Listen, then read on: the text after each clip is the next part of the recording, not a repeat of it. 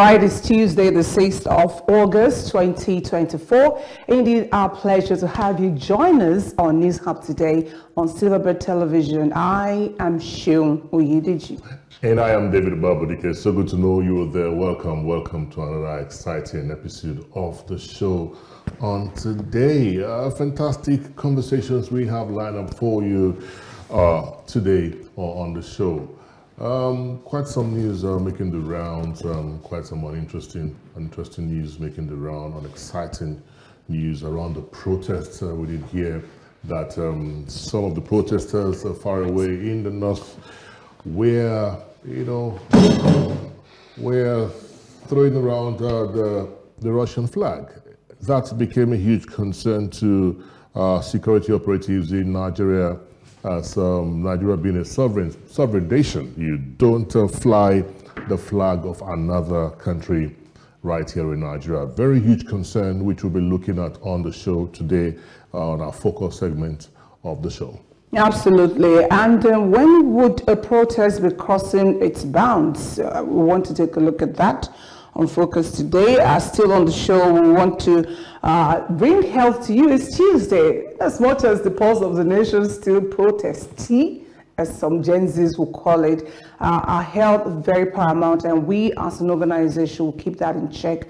I know that for a lot of people, what's going on with regards to the protest right now is giving them a lot of emotional stress. Some don't know, I mean, a lot of stress. You're, you're apprehensive. You have no idea what could happen, especially in the parts of the country where the protest is very hot. Uh, so we want to, more than anything, see how we can now deploy digital uh, technology to help us through. Uh, I know that in some parts of the, uh, of the world, uh, especially during the COVID-19, uh, the teledoc became very, very popular. Aside that, in what other ways can we deploy technology to better health? We want to take a look at that today on the program. Yes, and we'll now dive back into the biggest news uh, making the rounds, uh, the president's speech over the weekend as we take a look at, uh, the business and economic um, policies in uh, Mr. President's speech. He, spoke quite a number of things. He said quite a number of things. He talked about um, the singular fact that um, they've been able to ramp up uh, uh, revenue to about 9.1 trillion naira. They've been able to reduce debt servicing to about 60, 60 68 trillion uh, naira and all of that. You know, fantastic, 68% rather of um, revenue. You know, many, many other conversations he talked about. So we'll be looking at that on the show, the business and economic policies in uh, the speech made by Mr. President over the weekend. All right, uh, we continue our focus on the nationwide protest as uh, the call for dialogue with uh, progress organizers will also be looked into today. In what ways can the government really bring these people to the table? And is it about the organizers not uh, ready to meet with the government or the government not ready to meet with the organizers? Uh, if, anything that the president said on Sunday is what we can go by, he said that we should come to dialogue. So is that dialogue in the pipeline right now? Is there anything, is there any mediator who's really talking about this? I've heard instances where people had called on the former Speaker of the House of Representatives, who's now the Chief of Staff to the President, Femi Gbajabiamila, he knows how to mediate, to find a way around bringing the dialogue, uh, the, the organizers to dialogue with the president. Will there be an option in days to come? It's day six of the protest and Nigeria, as we can tell, you all can see at the moment, has to stand up and rise up to the occasion. We're taking a look at that today on the program. Yeah, and finally, we'll be looking at um, global concerns uh, with uh, Dane Waters uh, around the world with Dane Waters uh, later on the show today. There's so, so much news coming out from the international community. Bangladesh is actually in uh, the picture as we speak. Uh, the UK is in the picture as we speak uh, with many, many concerns. And the US election too is also many concerns that we just might be looking at with Dane Waters on the show uh, today. Yeah, and that will be it uh, for from all of us here. So we'll go on a break right about now, just to also know that you can be a part of our conversation today. You're not left out. The phone lines will be open. Uh, you can join us through all segments of the show. And then you can also join us on our social media, uh, all our social media platforms uh, uh for more conversations. So we'll go on a break right about now. We'll come back uh, as the focus segment of the show.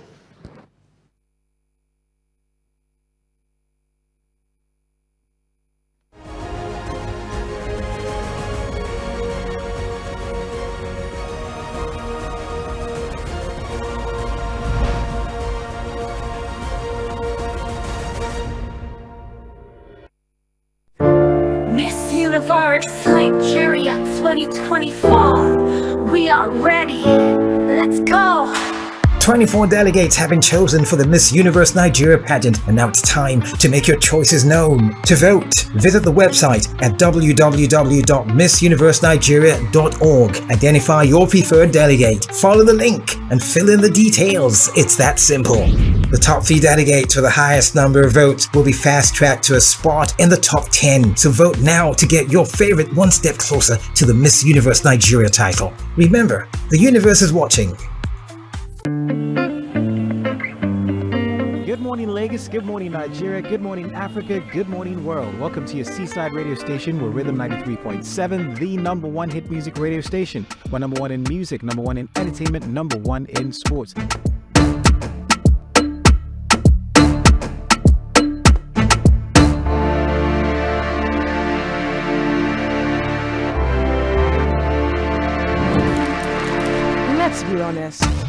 Not everyone likes the start of a new day or the rush that comes with a new day. If you're looking for great fun, intelligent conversations, and entertainment stories, We've got great music, great content, great interviews with all the amazing artists that you can think of. So you do not want to miss out on anything. stay with us. There's more to come. This is Rhythm 93.7. Number one. Number one. Number one. Hit music station. Rhythm 93.7. Watch.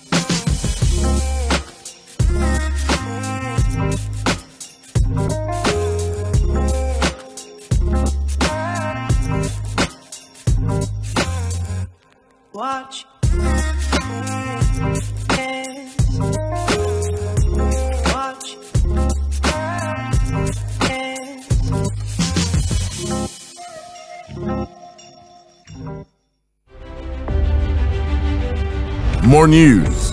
But the Chief of Naval Staff Vice Admiral Emmanuel Ogala said the nature of warfare is evolving rapidly.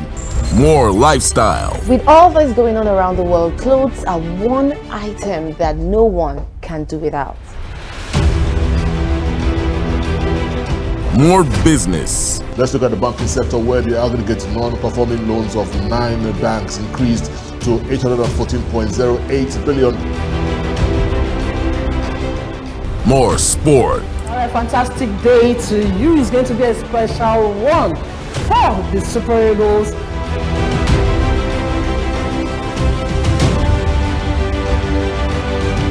More inspiration. Speak no evil of any person. Enjoy a little bit more of everything for the entire family. Silverbird Television. It's about entertainment and more.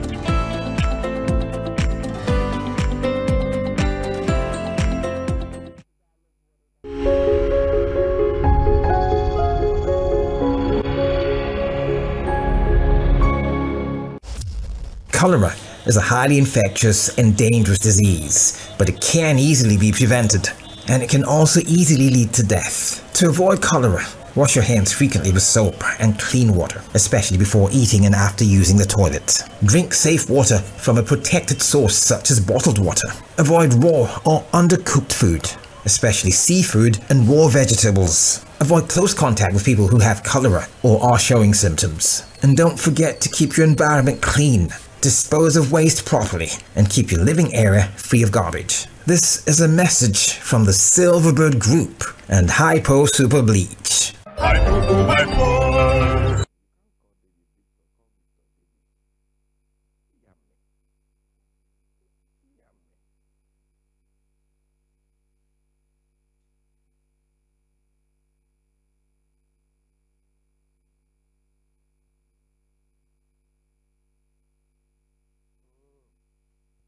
Service chiefs converged at the presidential villa for an emergency security meeting as protests escalated across the country. The meeting comes amid growing concerns over the volatile nature of the demonstrations. The situation took a disturbing turn with the appearance of Russian flags among protesters in Tudunwada, Kaduna State, raising alarm bells about influences on the unrest. And what we realized is that yes, initially people said it was um, a peaceful riot, but we have warned against it because we realized that there are individuals that are willing to take advantage of it to cause mayhem, and we can see clearly what has happened since it has commenced. Criminals have taken over, a lot of looting, a lot of uh, stealing, and all sorts happening. And besides that, I'm also aware, we're also aware that I'm seeing, all of us have seen it, where some uh, foreign flags have been flown within the sovereignty of Nigeria, and that is totally unacceptable. Uh, we are warning in, in, clear terms, and the president has also said we should convey this that we will not accept anybody, any individual flying any foreign flag in Nigeria.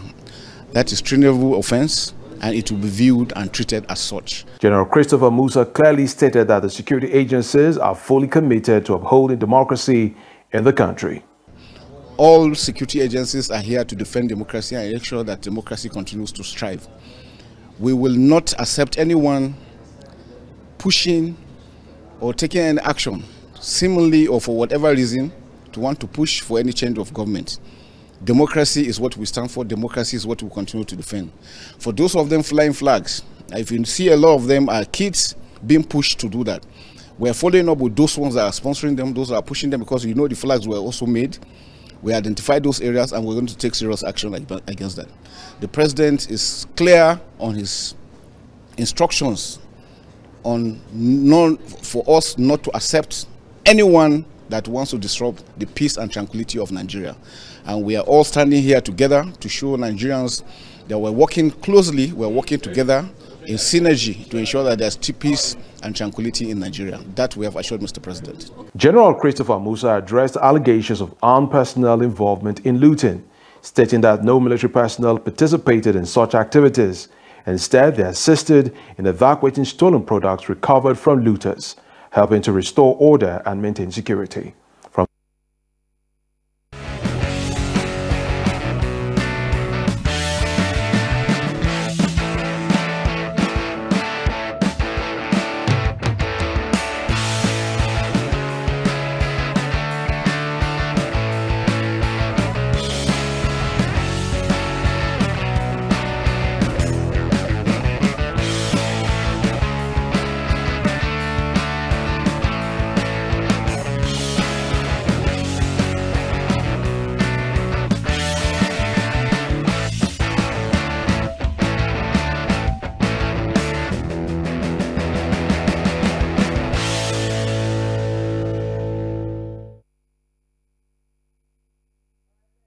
You saw the Chief of Defense Staff, Christopher Musa, declaring the hoisting of another flag, country's flag in Nigeria as treasonable, and that anyone who does that, I mean, especially during this protest, would be uh, in for it.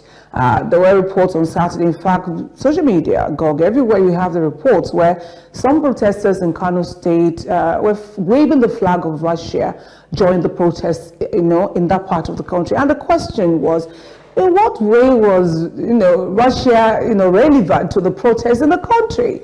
Uh, could there be other issues uh, uh, deeper than what we seem to be seeing with regards to how this protest is being, uh, you know, uh, being, being, prosecuted by the organizers and those who believe in it? Uh, your guest may be as good as mine. This morning is no different. It's a Tuesday. We have him here sitting pretty. Victor Ita is our in-house analyst. Thank you indeed for joining us on News Hub today.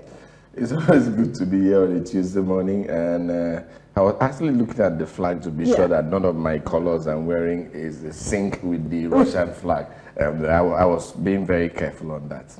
Oh, absolutely. so to speak. Look at it. And the Russian flag is yeah. red, blue, and white. Yes, I, I, was actually looking at your tie. I, I, suspected it, but it's clear now. It's fine. Look at you. And then for, for, for the records, mm. Nigeria and Russia have fantastic bilateral relations. We're very good with Russia. And at this point in time, aside some issues, I'm sure that most of our callers may want to delve into, wait, there's no, there's no correlation uh, then you want to go to Mali, Burkina Faso, Nigeria, way very close to the borders of those who actually, uh, you know, protested with waving the Russian flag on, on Saturday. We want to take a look at this and what it means for this particular protest in the country. We'd like for you to join in the conversation. The lines will be open in just a moment. Victor, Russian flag.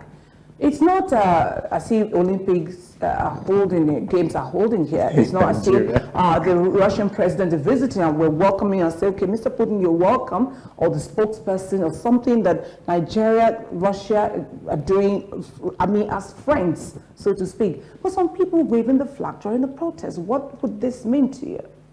It's something that we almost condemn. Uh, let me first of all thank the swift uh, reaction from the presidency to uh, to make sure that this is uh, this is this is uh, you know this that Nigeria should disregard this and uh, this doesn't become a narrative in a very country where a sovereign uh, country.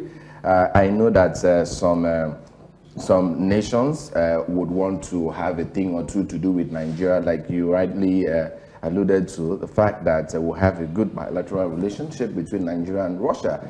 It uh, is no longer news that Russia has interest, want to have, they are interested in uh, Nigeria, but uh, this should not be during a protest. You cannot hoist another country's flag in a sovereign state like Nigeria. And we are the, we are the mother of Africa. Yeah. So everybody, everybody will be interested in what happens in Nigeria, but it's not to come mm. and uh, to come and cause confusion mm. in uh, uh, in national issues like uh, the protest. The protest is a protestation as it goes. Is uh, the citizens talking to the government? Either we are okay or we are not okay with what you've done uh, so far. it's some form of referendum, but the point is that it shouldn't have any coloration of any foreign interest. Mm. When Nigerians are protesting, it must be for national interest. No other nation should sponsor.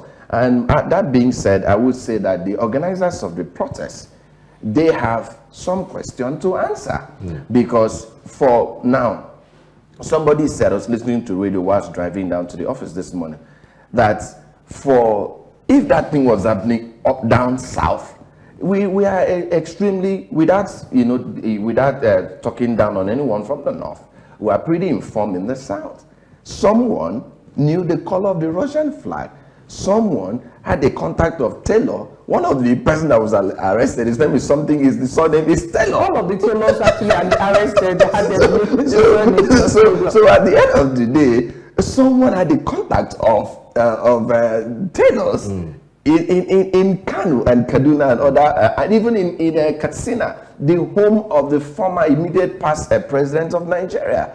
So there, there's some form of coordination that went into the production of that flag. So questions, question must be answered. There are questions and we need answers. There are questions. Where do we get these answers from right now? Because um, it, it is really, really, it, it, has changed the dynamics of the protest. It, it was end hunger, end, hashtag end hunger protests. Mm.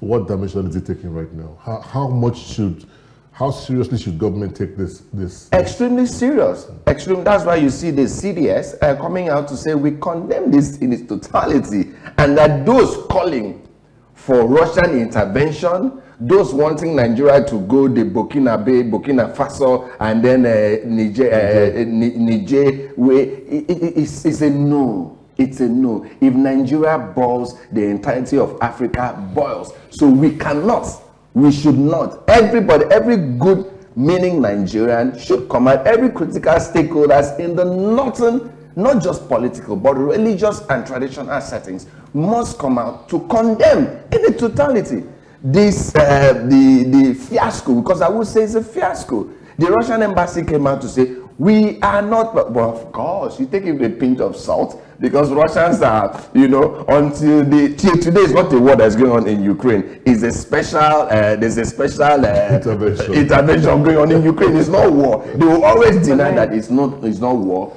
So they are quick to to give uh, denial, but. Uh, uh, there should be an iota of some bit of iota of truth in whatsoever because of the coordination. Maybe some would say that why should anyone go that way at this point in time? Uh, I need to can also very, we would like for our callers to join us in this conversation as to how we're seeing a Rus- Russian flags Mm. being waved in Nigeria in support of the protests.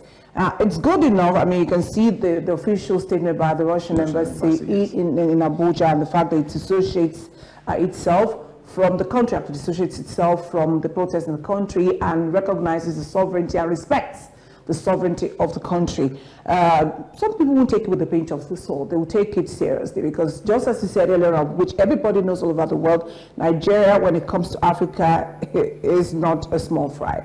Regardless of the challenges we're faced with, oh my goodness, you know that uh, Nigeria is Nigeria by all standards. Uh, would the uh, military regimes in across uh, outside our borders, very close to us, in Mali, in Niger, Burkina Faso, and what have you, uh, will it have an impact? Remember also that most people who are Nigerians are sometimes Nigerians. Some have mixed blood, some are intermarried, some have businesses just across, but they just cross from here to here. I always said I served in Sokoto State, and there is one local government in. It's just one step. It's like you are in uh, Cotonou, are in Nigeria. One step from one gate to this, you are in Nigeria, or you are in Nigeria. You're in Nigeria. So we'd like for you to join in the conversation. Is the Russian government, uh, you know, has it said enough? Has most government do much more in really letting us know as a people that it is not interested in infiltrating the process in the country, not just a statement, something even bigger. You know, I just wonder, David. We have a first caller on the show this morning. Let's speak with Mazi Okorafor, who joins us from Abia State. Uh, Mazi, good morning. Good morning, Shehu. Good morning, everybody. morning. Good morning, Nigeria. Good morning. Yeah, that's Mazi Okorafor from Arus. You see, the Russian flag has a very bad pronounce, that Bishop pronounced, which may call it. Because you ask yourself, who and who initiated this Russian to, because what is what, yet, what is what we are seeing now about the Russian flag is just like what happened in Mali. From Mali, you saw Niger. They will show Russia before you talk to Robinson, you see Russia coming to that. But the question now is, uh, who are the initiators? All those boys and girls carrying all this, do they have money to produce to eat? Not to produce. They, they must be sponsors.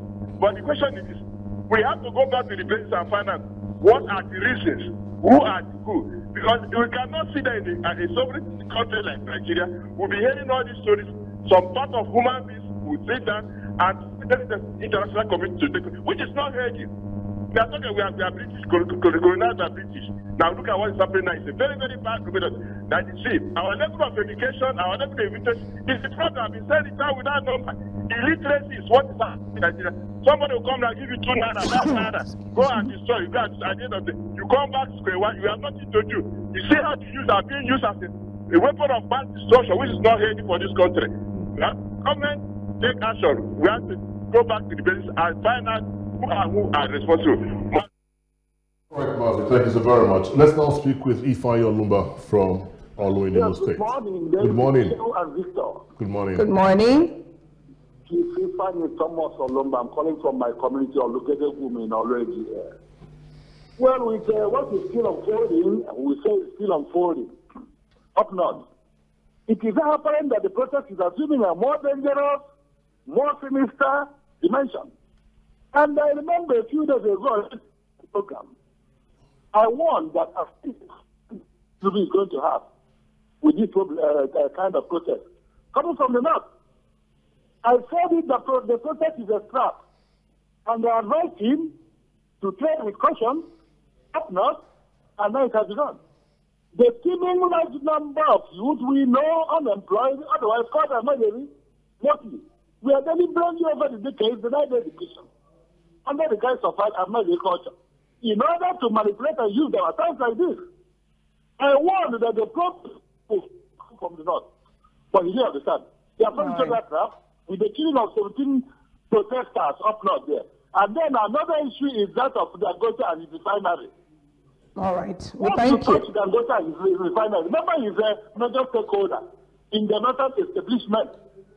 All Once right. you ridicule him or try to frustrate him, you are frustrating not an interest. He's an elite.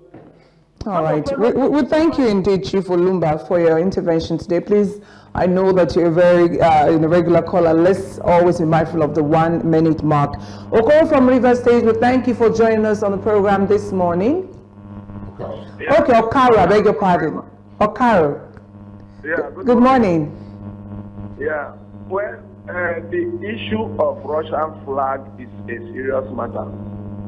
But the problem we have is that our current leaders and politicians are so distracted with personal interests that they don't know when there is heavy problem. When you don't have a divided house, outsiders cannot have interest.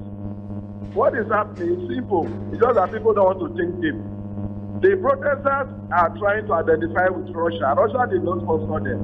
Mm. They are trying to identify mm. with Russia mm. because they know that if there is crisis or if there is maybe a military coup, the West will definitely want to support a democracy and they will be resisted by either the US and the West.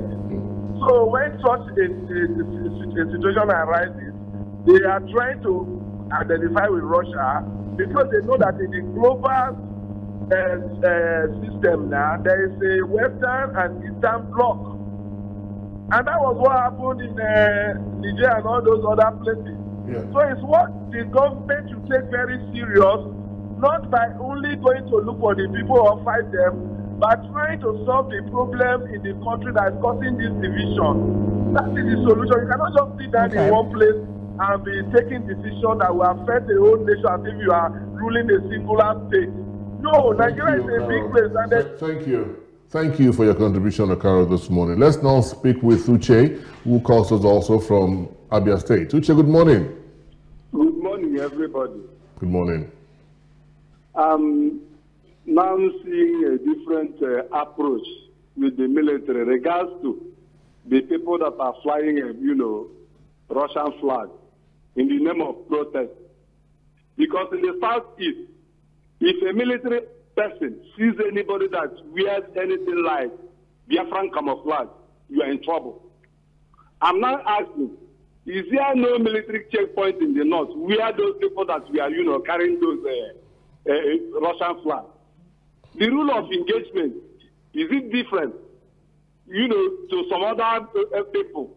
And the rule of engagement of military. The CDS is warning. I had him warning them, not arresting them or brutalizing them. In the past administration of, uh, you know, uh, uh, Buhari, he negotiated with Boko Haram. I did not even hear or heard any time he negotiated with uh, people that agitated for Biafra. You see the problem of the country. You don't have one rule for, you know, everybody. You have different rules. How will the country move forward? That is my question. When you have a different rule to different people. Okay. God bless you people. God bless you, Uche. We thank you for your intervention on the show today. Let's speak with Ada, who joins us from Plateau State. Good morning. How is Jos today? Ada calling from Jos Plateau State.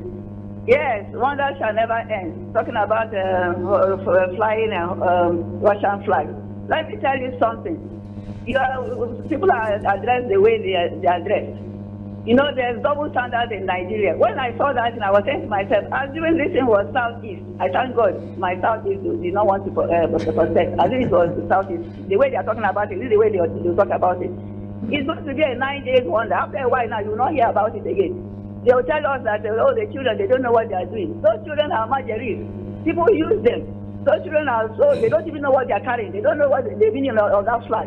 And they will not get to the bottom of it. They are not telling us they are getting to the sponsors, they are getting to the tailors. After a while, you will not hear about it again. That is Nigeria for you. All the same, the way things are going, I pray this Nigeria, Nigeria will stop these double standards and, uh, I mean, uh, uh, handle matters to its logical conclusion. So we know that we are one Nigeria, a, a Nigeria where no one, no man is oppressed. It's not a question of changing national anthem. You saw what happened during the protest. Most of them defied the new, uh, I mean, the new uh, national anthem. As well as uh, singing the Arise O Compatriot. What does that tell you? You know, that means they have lost trust in the country. They, how can people be Okay, standing in brotherhood when there's bloodshed, shooting protesters and all whatnot?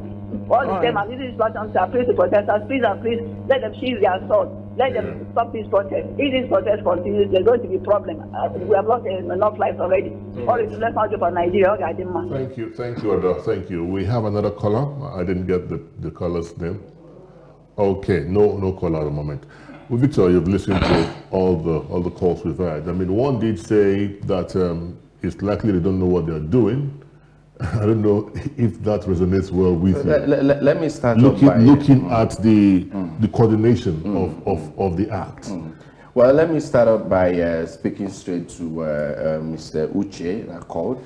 Uh, we, we have to stop, you know, you know, pu- putting fire to the flame of division in this country.